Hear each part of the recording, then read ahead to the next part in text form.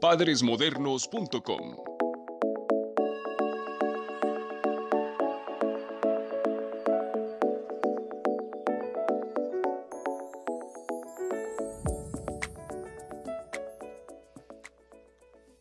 Nuestro tema de hoy, comunicación familiar. La comunicación se supone debe de, iniciar y debe de aprenderse primero que nada en la familia nuclear. Por supuesto que intervienen, intervienen todos los familiares, abuelos, tíos, primos, cuñados, etcétera, todos aquellos con los que de alguna manera tenemos interacción social a través de nuestras familias, de nuestros padres, ese, se crean los primeros vínculos de comunicación. La comunicación, por supuesto, pues debe de aprenderse en casa. Nuestros padres son los primeros que crean un vínculo de comunicación con nosotros. Sin embargo, está ocurriendo un fenómeno increíblemente espectacular. ¿Qué sucede con las redes sociales? ¿La comunicación familiar está siendo sustituida por las redes sociales? Veamos. Según la Real Academia Española de la Lengua, comunicación es un proceso mediante el cual se puede transmitir información entre un emisor y un receptor. El primer emisor es el padre de familia y el primer receptor, por supuesto, es el hijo. ¿Desde qué momento empezó la comunicación? La realidad es que la comunicación, al igual que la educación, inicia desde el embarazo. Nosotros hemos hablado ya el embarazo es el medio de comunicación inmediato de los seres humanos. Cuando un bebé es concebido, desde ese mismo momento está recibiendo información a través de la madre, ya sea por las palpitaciones de su corazón, la respiración, sus sentimientos, sus emociones e incluso lo que platica con el bebé. El proceso de gestación nos provee miles de oportunidades para crear una comunicación real, una comunicación efectiva, una comunicación a través de vínculos empáticos que más adelante les van a proveer a nuestros hijos elementos y herramientas para salir adelante en todas aquellas cosas que se les van a ir presentando en la vida cotidiana. A través del embarazo nuestros hijos nos escuchan, cuando ellos nos escuchan, nosotros podemos ir programando conductas, podemos ir programando reacciones, podremos irles contando qué sucede en la vida real, a qué se van a enfrentar, qué cosas están sucediendo, qué cosas pueden estar en manos de ellos para que dejen de suceder y qué cosas no. Parece un tema que no tendrías con un bebé, pero lo que nosotros estamos haciendo es dejar sembrada única y exclusivamente las ondas sonoras de las palabras que luego van a tener significado para ellos. También a través de la comunicación tenemos que orientar a nuestros hijos con qué cosas ellos pueden contar. Por ejemplo, si nosotros a nuestro bebé en el vientre materno le ponemos una canción y esa canción cuando ellos nacen es lo primero que escuchan, eso les va a dar un sentimiento de satisfacción, de estoy en casa, de estoy rodeado de aquello que conozco. Si tú le cantas una canción, la letra de, la canción le va a resignificar cuando empieza a decir sus primeras palabras. Va a estar orientada a que ella entienda ciertos conceptos o el bebé entienda ciertos conceptos. También la comunicación que se tiene en el vientre materno nos maneja aspectos mentales, porque las emociones y ese vínculo empático que se crea entre la madre y el bebé no se rompe nunca. Es, es una comunicación invisible, es una comunicación mental en donde las mamás resienten o sienten todo aquello que les puede estar afectando a sus hijos, aún estando grandes, casados, eh, siendo abuelas, no importa. Ese es un vínculo que jamás se rompe. Esta comunicación crea una unión permanente, una unión emocional, una unión genética, una unión de sangre, una unión de herencia, eh, una unión de respeto, de, comunicación, de, estar protegido, de saber que cuentas con alguien. Te da una pequeña noción, eh, te crea en tu cerebro nociones de hacia dónde dirigirte cuando vas a tomar decisiones. Nuestro cerebro funciona a través de asociaciones y cuando nosotros dejamos muchas asociaciones, muchas experiencias en el cerebro de nuestros pequeños, ellos van a tener un banco de información que más adelante les va a funcionar. No quiere decir que el niño va a nacer y va a entender todo lo que tú le digas, aunque sí entienden muchísimo de lo que tú le dices, va a ser más fácil que aprenda a hablar, va a ser más que aprenda a leer, más fácil que aprenda a escribir, porque ya tiene bancos de palabras, de asociaciones que tú le estás dando para que tenga una noción de aquello que, de que se le está hablando. Le vas a describir una manzana, un oso, la luz, el sol.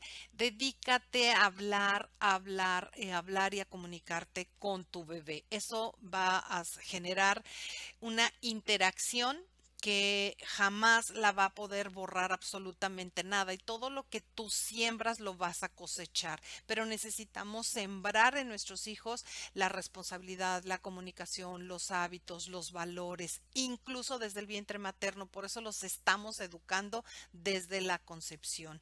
Esa interacción no se rompe y cuando tú le empiezas a generar en este momento, mientras el niño va creciendo, le vas creando más interacciones con la familia sin que se rompa el vínculo importante de esa confianza entre mamá, papá e hijo que tú la creas en este momento cuando tú estás embarazada. Las conductas se generan en el embarazo. Si tú tienes un embarazo estresante, ya lo vimos, ya lo hemos comentado, Vivet Glover nos da una información científica al respecto de qué sucede cuando eh, los niños están creciendo en un ambiente estresante o tú tienes problemas, pero también vimos que todas esas cosas se pueden arreglar y se pueden borrar. ¿Por qué? Porque tenemos un cerebro plástico. Entonces, la conducta se puede cambiar, la conducta la generamos nosotros los adultos las actitudes que tienen nuestros hijos, sobre todo los adolescentes que siempre estamos diciendo que tienen actitudes negativas, soberbias o etcétera, bueno, tiene mucho que ver con el banco de información que nosotros hemos sembrado, cómo los hemos tratado de chiquitos, cómo los hemos tratado de bebés, cómo fue nuestro embarazo, qué fue lo que dijimos o lo que no dijimos, cómo fue la convivencia familiar, etcétera. Esta información que estamos generando para nosotros es consciente. Estamos conscientes de que estamos haciendo algo con un propósito, estamos creando un banco de información que más adelante a nuestros hijos les va a funcionar. Esa información consciente crea una empatía contigo y con el medio ambiente, con el medio social a donde él va a llegar, con el medio familiar en donde él se va a desenvolver y donde él va a aprender sus primeras interacciones con los seres humanos. Pero al mismo tiempo, esta información, toda esta información que tú le vas a proporcionar, se va a quedar en el inconsciente, en su amígdala, va a estar grabado hasta que llegue a la adolescencia y empiece a necesitar esos recursos que tú le estás generando. Entonces, todo aquello que tú le puedas dar en ese momento, durante el embarazo, después del embarazo, en su primera infancia y en la adolescencia, es lo que te va a ayudar a ti a tener una comunicación efectiva con tus hijos y por supuesto poderlos ayudar con el cambio de conductas o comportamientos que se están generando con esa interacción de las redes sociales que nos están haciendo mucho daño. Todo lo que se comunica, ya lo vimos, eh, lo hemos estado viendo a lo largo de todos estos talleres, que nuestro cerebro es plástico, pero también está conectado con la realidad y con la imaginación y con lo que nosotros recibimos de información a través de lo que vemos, a través de lo que escuchamos, a través de lo que sentimos. Entonces, nuestro cerebro recibe información ahorita en este momento, nuestros hijos de donde más información reciben es de las redes sociales, de los medios de comunicación masivos, eh, la televisión, mm, la radio, las canciones, los videos, etcétera. Ellos, esa información que reciben, lo que hacen es que se van o la, la, la, resignifican a través de su canal preferido de comunicación, que ya puede ser visual, auditivo, kinestésico, reciben esa información, pasa por el cerebro, van a ese banco de información que nosotros creamos, el que te estaba yo comentando que hacemos. Y lo que sucede ahí es que busca referentes o busca información para interpretar todo aquello que está recibiendo, de tal manera que tú eres la que le vas a dar los elementos para decidir si lo que está recibiendo, el mensaje que está recibiendo, le va a dar un producto o una interpretación positiva o negativa todo va a depender de la comunicación que tú hayas logrado con tu hijo desde bebé hasta adolescente o hasta este momento en el que te encuentras frente es imposible no comunicarse. O sea, los seres humanos nos comunicamos porque tenemos que comunicarnos, pero puede crearse un círculo vicioso. Ese círculo vicioso nos puede llevar a percepciones preconcebidas, lo que nosotros le llamamos paradigmas o, tomar ideas que no necesariamente son ciertas, reales, verdaderas o este, positivas podemos, puede crear que las personas tomen una posición, por ejemplo, la cultura, las creencias, la religión, todo eso nosotros lo adoptamos de acuerdo a nuestro medio social, de acuerdo a nuestro entorno, de acuerdo a nuestra cultura, con la gente que nosotros convivimos, con la gente que nos traspasa o que nos pasa o nos comparte esas creencias.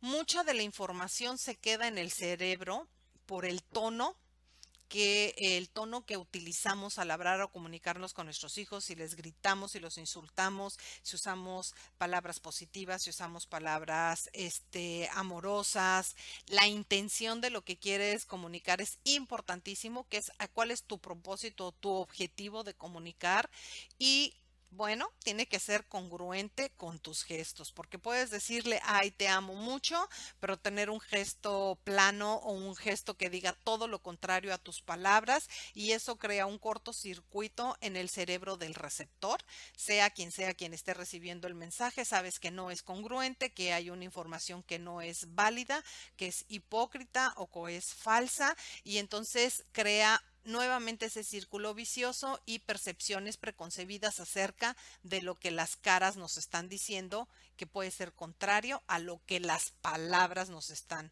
informando.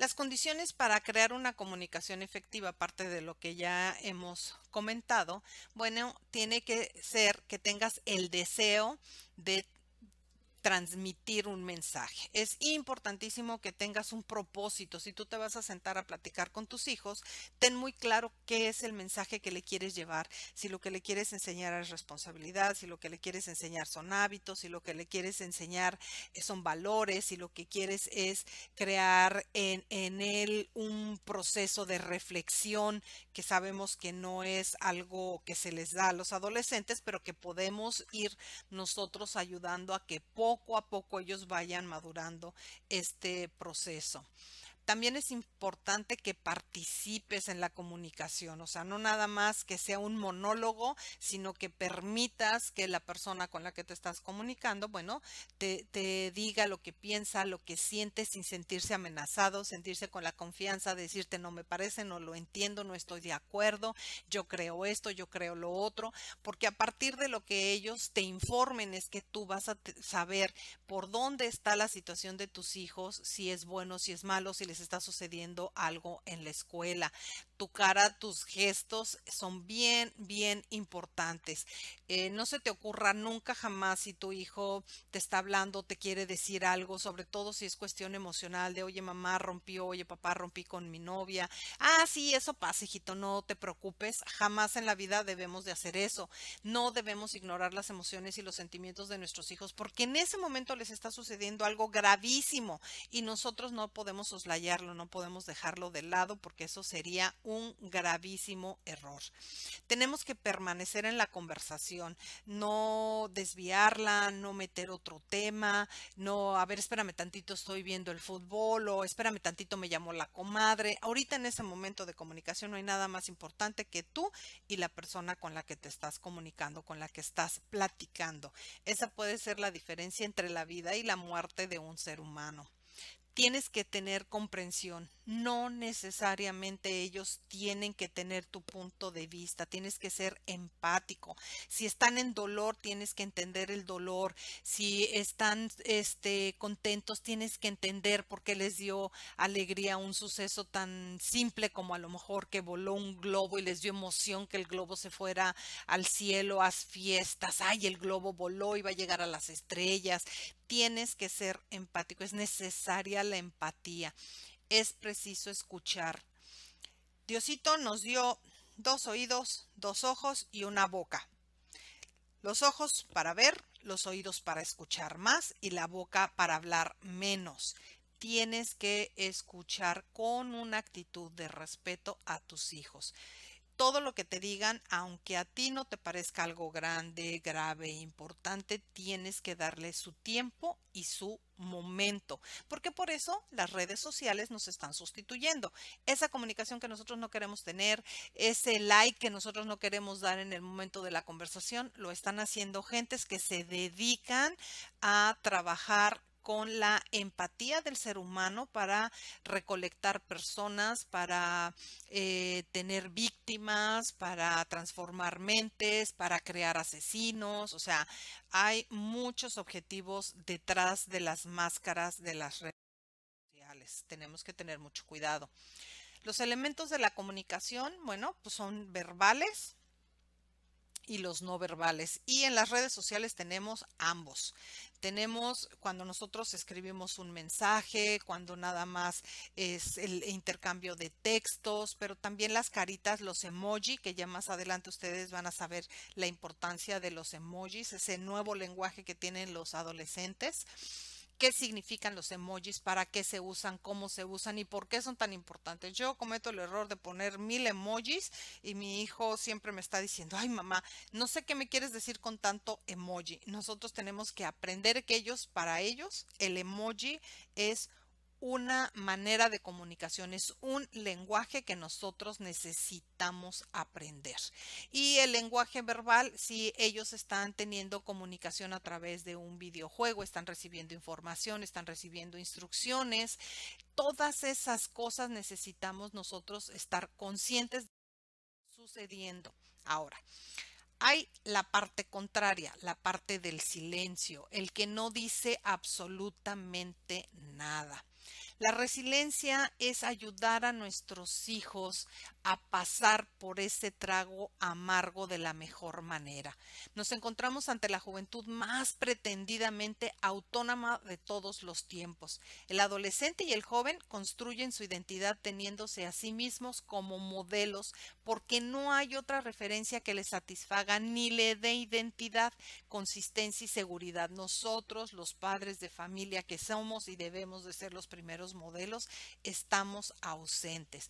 Nos están sustituyendo las redes sociales, nos está sustituyendo desde hace décadas la televisión, nos están sustituyendo la escuela, la escuela no puede sustituir la educación, no nosotros nos corresponde educar a nuestros hijos, no debemos de acudir a las nanas de ninguna especie, ni electrónicas, ni físicas, ni de ninguna manera. ¿Por qué?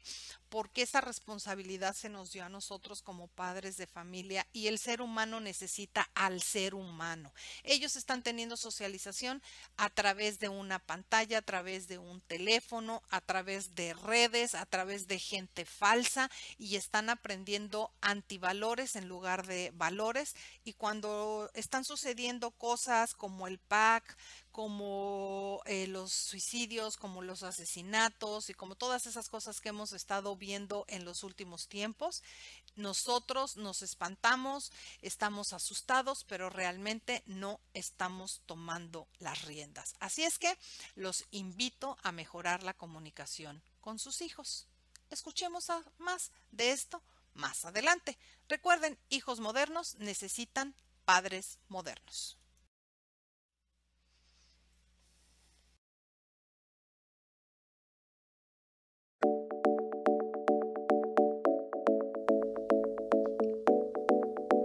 padresmodernos.com